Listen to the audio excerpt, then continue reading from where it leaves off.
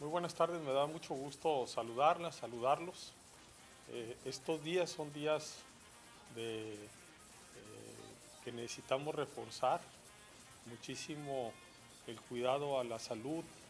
Necesitamos estar lo más que se pueda en casa, salir solamente para lo esencial. No son vacaciones, son días que, eh, y semanas que necesitamos hacer un sacrificio importante. ¿Para qué? Para evitar que se propague el virus, que es un virus, como lo hemos comentado, como lo vemos en las noticias, en la información, lo que está pasando en otros países, lo que ya está pasando en México, lo que ya nos llegó también a Sinaloa, es altamente agresivo y es muy fácil de contagiar. Hemos visto cómo han venido eh, aumentando los casos aquí en el estado y la única manera de detener es quedarte en casa. Sinaloa, quédate en casa, resguárdate, eh, cuidémonos. Lo más importante que tenemos es la vida, es la salud.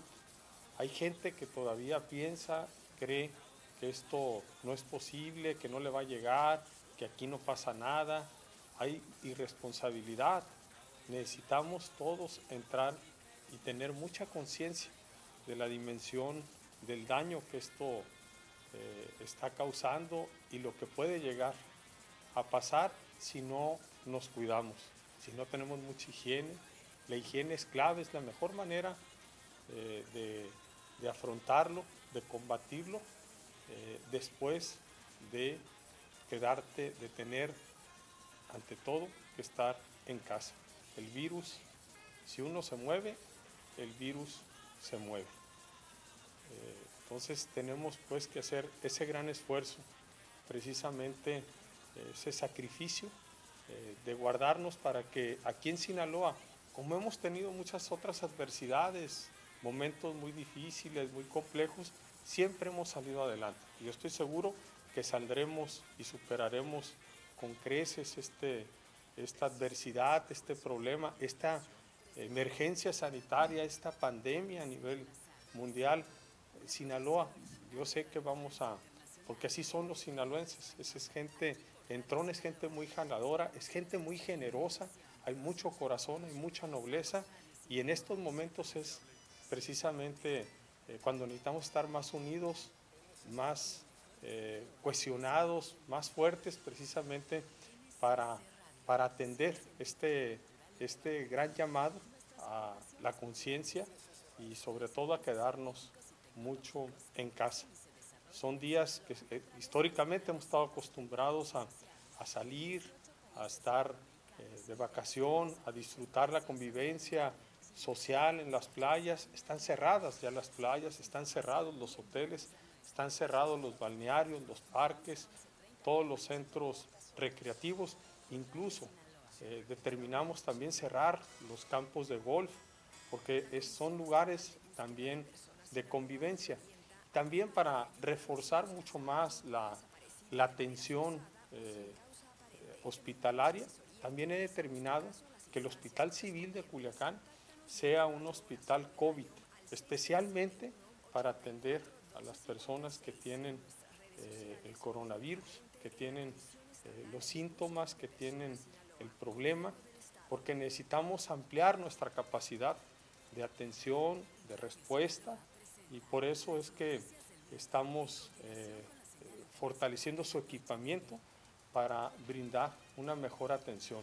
Necesitamos más camas, sí, estamos platicando también con, hospitales privados, pero además de tener el nuevo Hospital General de Culiacán, que en los próximos días ya estará eh, al servicio de la gente y que será también eh, única y exclusivamente para la atención de COVID y que será operado por el ejército mexicano. Eh, este eh, hospital, el hospital civil, también vendrá a complementar y a fortalecer, independientemente de tener una oferta también